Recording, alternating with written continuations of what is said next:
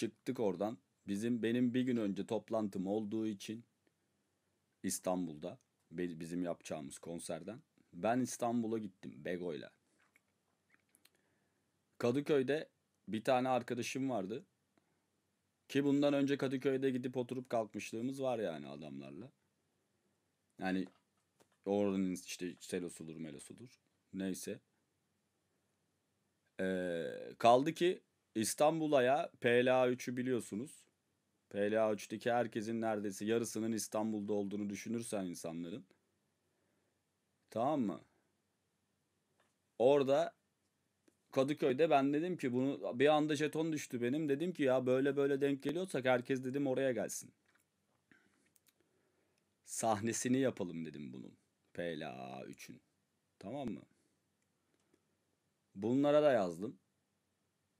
Şeyinşah, Mevinşah. Ufuk demeyi tercih ediyor kendine galiba. Öyle bir şey sezinliyorum. Çünkü bana internetten parantez içinde Onur demiş.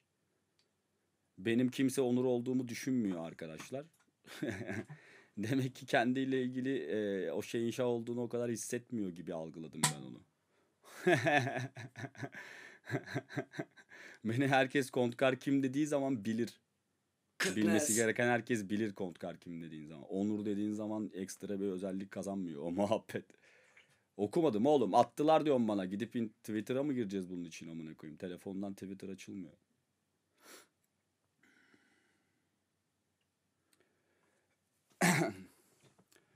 Neyse.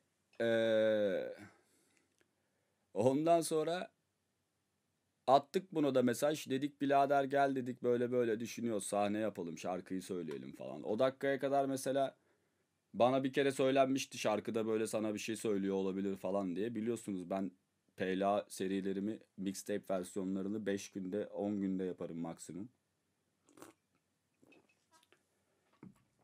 O da öyle hemen yaptığımız bir proje olduğu için tamam mı?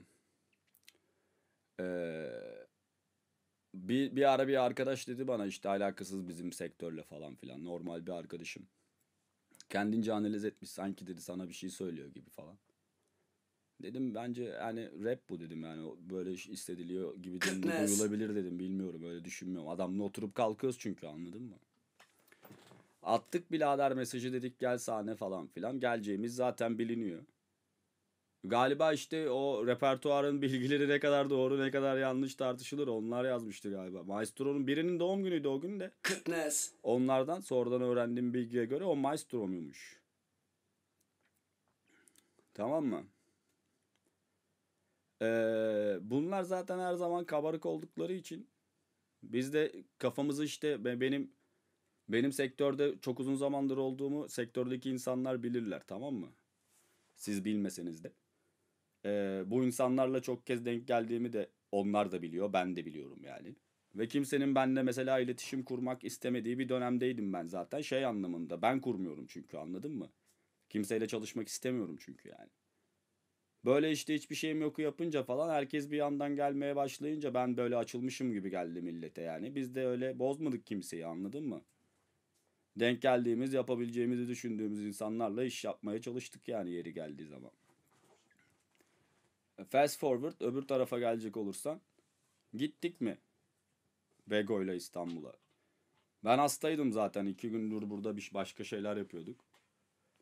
Ondan sonra gittim bir arkadaşla oturdum Kadıköy'de. Çıktım oradan şeyin Bixi'nin yanına geçtim vesaire. Ondan sonra eee, orada takıldım yani konser saatine kadar.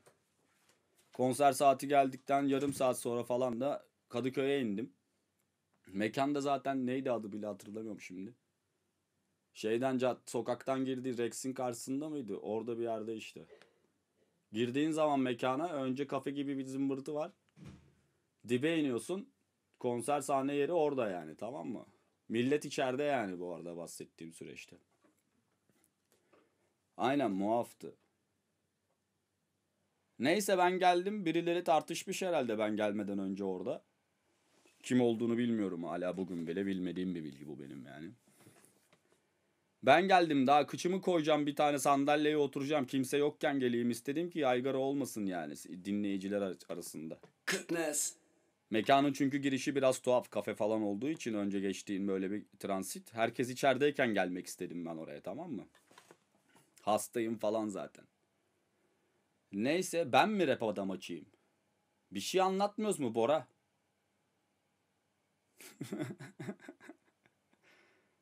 rap haber mi anlat?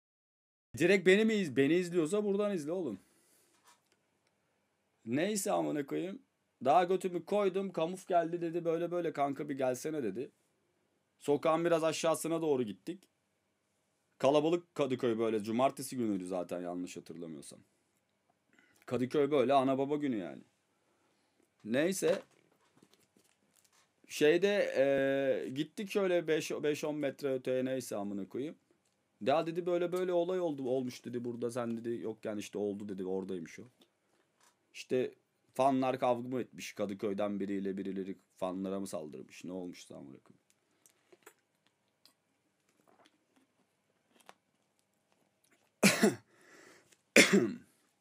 Dedi böyle böyle bir şey var dedi. Bunun dedi işte Kadıköy'le bir alakası yok falan öyle algılamanı istemem dedi trip olmasın falan filan. Dedim kanka dedim neyini algılayacağım bunun olabilecek şeyler bunlar dedim ya. Öyle bir şey olduysa olmuştur dedim ya. Bunun niye dedim yani içselleştireceğim bir noktada mıyım dedim şu an ben amına koyayım. Daha bu cümleyi konuşmaya tamamlamaya kalmadı. Arkamdan biri şöyle yaptı. Kafamı çevirdim. Şişe yedim. Sonra ne kadar dört yol ağzındaydık. Ne kadar insan varsa saldırdı zaten onların yanında gelen işte yani. Anladın mı? Alright. Bir kere yere düştüm. O da yok- yokuş vardı orada böyle bir tane. Yokuşu var onun böyle bir tane. Yokuşta şurada kalınca yere düştüm. Onun dışında da hep ayaktaydık çok şükür. Goodness. İnsanlar diyor ayaktaydık diyorsun diyor yarraksın diyorsun diyor bilmem nesin diyor. Kim vurdu? Şeyin şah vurdu işte. E, o vuran o direkt ilk vur ilk hareketi yapan o arkasında da kim varsa hepsi zaten dört yoldan toplanmışlar oradan buradan. Bir ton herif geldi ben. Zaten tanımıyorum kimseyi amına koyayım. Bana o gün işte atıyorum yani şeyi e, bugün adı geçiyor diye söylüyorum. Maestro'yu göstersen kim diye bakarım amına koyayım anladın mı yani? Anladın mı? Ya bıçağı takanı mı kaldı oğlum? Her yerimiz delik deşik amına koyayım yani. Öyle bir so- muhabbetin diyaloğunda değilim ben çok yani. Neden yok kardeşim? Onlar o gün orada sahne yapmaya gelecek insanlardı benim için. Dostum olduğunu söyleyip. Tamam mı? Arkadaşlar demek ki orada kendileri partileri parti yapar yaptıkları mekanda hoşnutsuzlardı yani. Benim partime salça olmak istediler. Mevzu bu yani. Sen vurdun mu diyor. Vurmuşumdur kardeşim birkaç kişiye. Al sana dede kont. Orada işte yok bir ton kan kaybetmişim. Kamufle var önümde amına koyayım herif ağlıyor ağlıyor. Oğlum dedim git ambulans ambulans ara anladın mı? Bir yerimden kan fışkırıyor benim yani.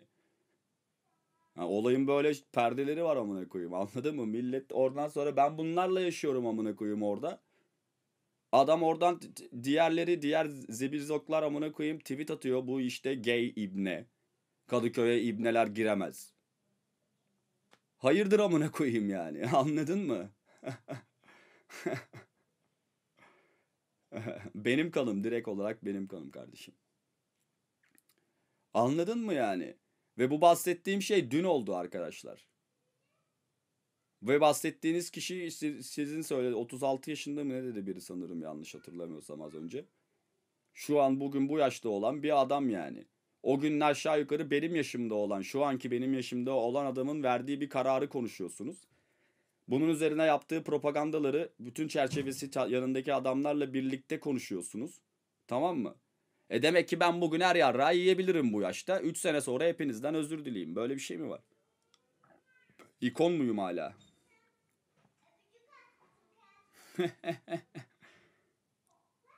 Bu kadar salak bir şey olabilir mi amına koyayım? Ben 31 yaşındayım şu anda yani. Bana diyor sen olgun değilsin. Amına koyayım o olgun değilmiş. Ben ne olgun olmayacağım? Ben 25 yaşında da olgundum amına koyayım. Anladın mı? Bu kadar salak bir şey olamaz yani. Bunları insanlar yani iki tane kelime cümle kurdu diye insanları baş tacı etmeyin arkadaşlar. Ben bunu 30 bin defa söyledim yani.